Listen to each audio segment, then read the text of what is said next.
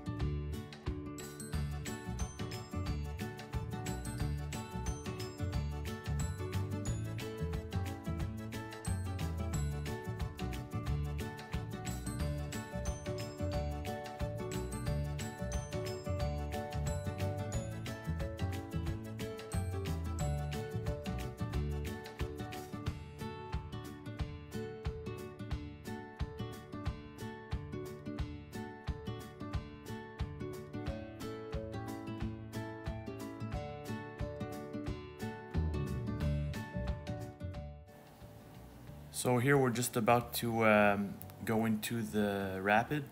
It's not whitewater rafting uh, rapids, but uh, it's just a different elevation on the St. Maurice River, one of the different elevations. Um, so uh, we're really happy uh, that we can go because uh, this is the place where I pretty much always uh, hit my prop on the other boat. Nothing major, but I always would get some type of rock or something hitting the, the prop. Uh, the uh, water levels are so uh, different uh, every week, every hour. On the same day, the level can change. So now, uh, peace of mind with this boat, no problems.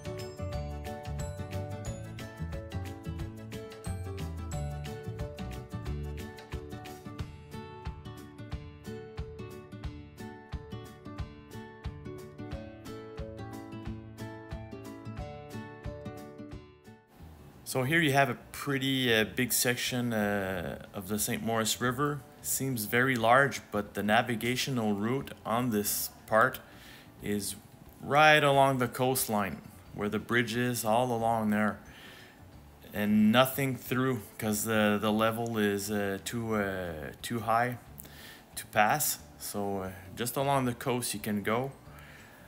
And there's a shot that's pretty narrow here where the boat is right now but uh, standard boats will have might have problems with props here also. So uh, we're gonna be doing a, a shot that uh, I've always wanted to do with this boat, just for the heck of it. So uh, enjoy.